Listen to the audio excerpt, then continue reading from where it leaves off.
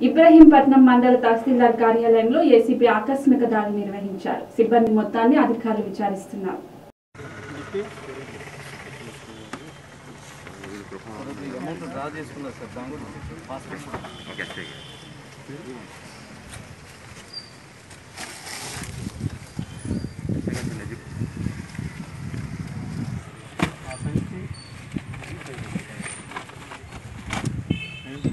Thank you.